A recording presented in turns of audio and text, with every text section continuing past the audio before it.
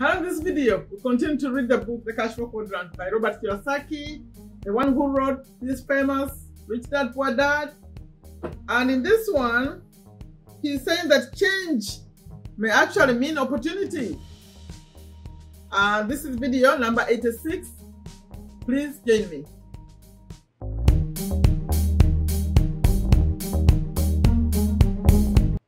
Hello, welcome to Take a Step to a Better You. If you are returning, I appreciate you very much. You know what to do support this message, I'm assuming. If you're new, welcome. My name is Sherifa Nakalema, business owner here in Virginia, USA. Very passionate about what I do here. And let me show you, I'm here Monday doing YouTube tips, Tuesday, Wednesday, money tips, business tips. On Thursday, I like I call it my free day. I drive around, I talk to people. It's fun day. Then Friday is another fun day. I come live, we discuss anything to, help us take our step. My message here is take a step to make your life better. Anything I say, anything I do is for that reason. So Friday we are live.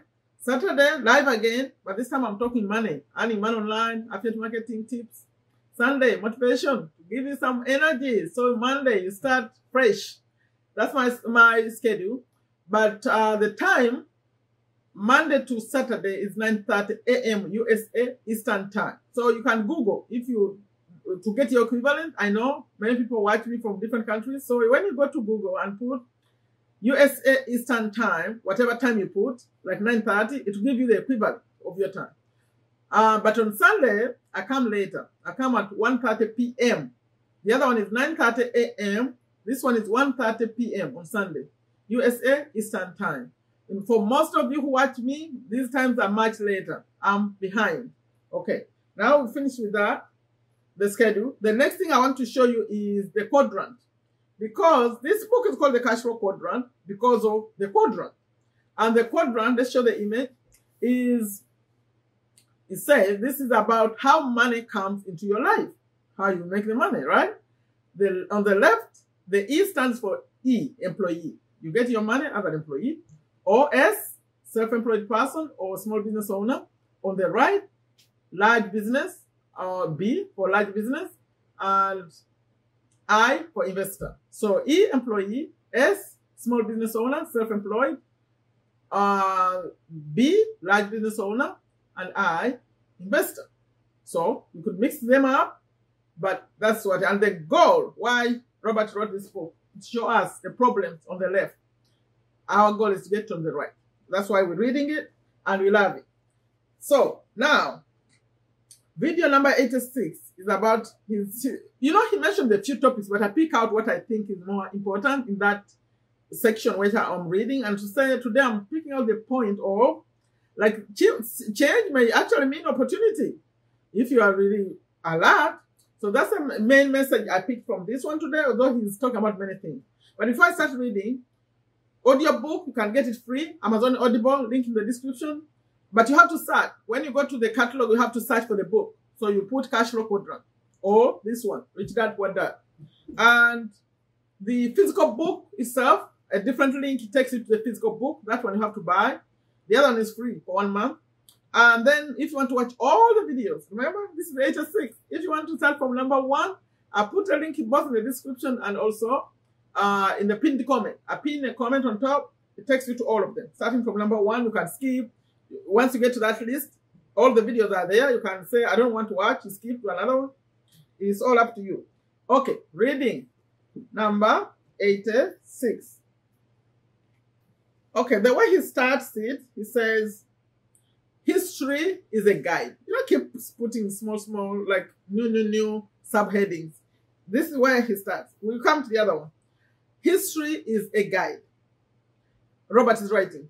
My rich dad encouraged me to learn the game well. I mean, the game of this quadrant stuff we're talking about. After I learned it well, I could do what I wanted with what I knew. I write and teach out of concern that more people need to know how to take care of themselves financially and not become dependent upon the government or a company for life support. My message right there. Let me read it again. Because those people come on Friday, listen to this. Because this is where my passion is. he says, I write and teach out of concern that more people need to know how to take care of themselves financially and not become dependent upon the government or a company for life support. I hope I'm wrong about what I see coming down the road economically. Maybe governments can keep making promises take uh, care of people, keeping on raising taxes, and keep on going into greater debt. Maybe the stock market will always go up and never come down again. And maybe real estate prices will go up again and your home will become your best investment. And maybe millions of people will find happiness earning a minimum wage and be able to provide a good life for their family. Maybe this can all happen, but I don't think so. No, not if history is any guide. So, he says, and, and I think I agree, all those things are not going to happen. So, historically, if people live to be 75 years of age, they live through two recessions and one depression. Please note, those who like to follow this book seriously. Historically, I'm reading again. If people live to be 75 years of age, they live through two recessions and one depression.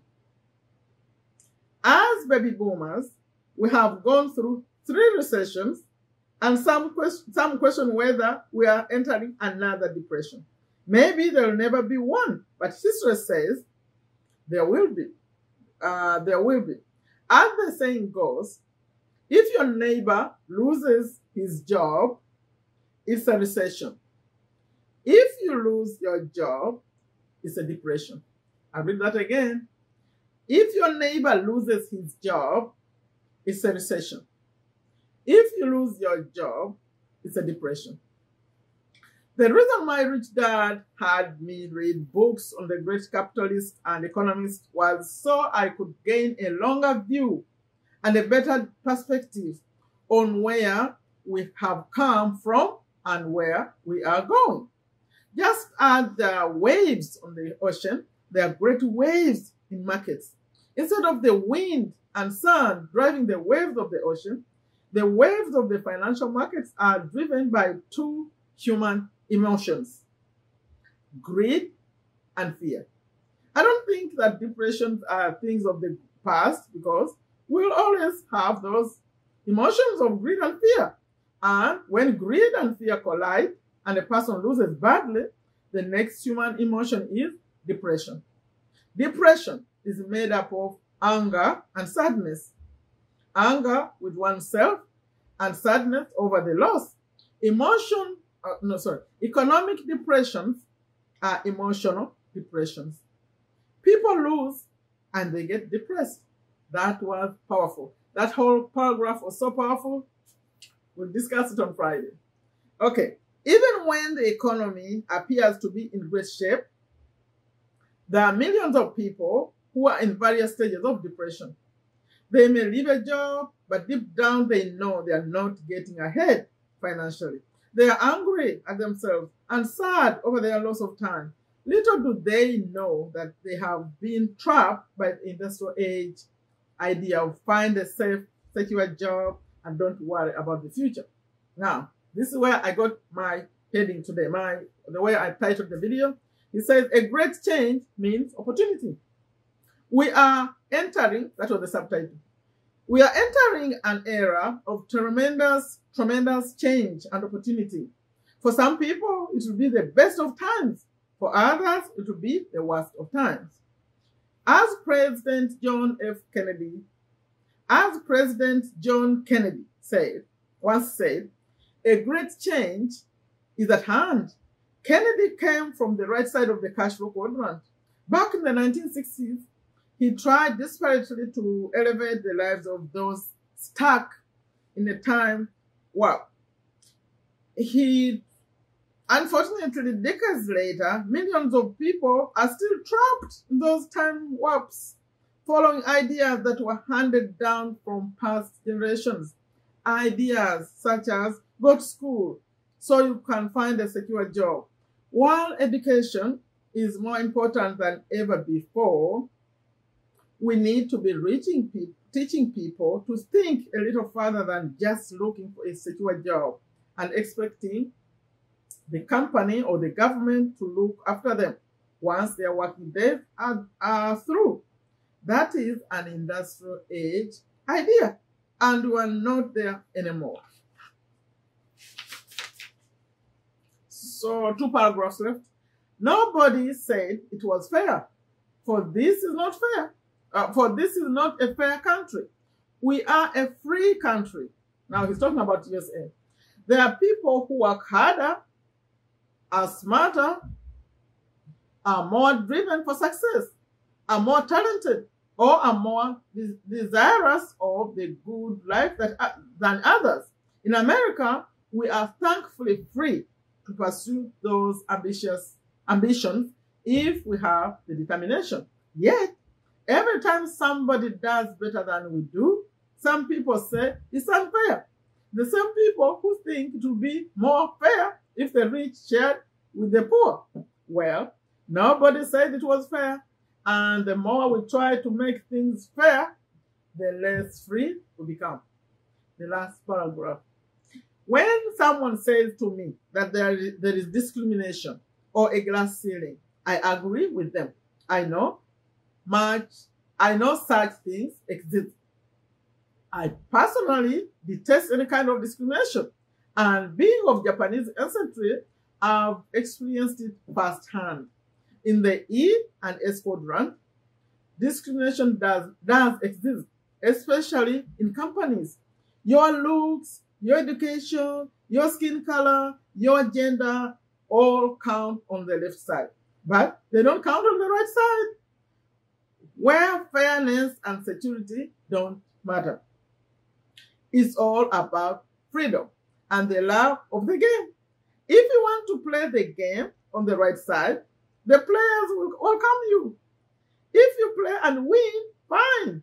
They'll embrace you even more and ask you for your secrets. If you play and lose, they'll gladly take all your money. But don't complain or blame someone else for your failure. That's not the way the game is played on the right side. It's not meant to be fair. Being fair is not the name of the game. That's the end of 86. I hope that title was relevant. A great change means opportunity. I think it's hidden in there. Like how things change when you have the knowledge, when you are ready, prepared, you, you get ahead. I mean, you get ahead, you, you, see things, but have, have the knowledge.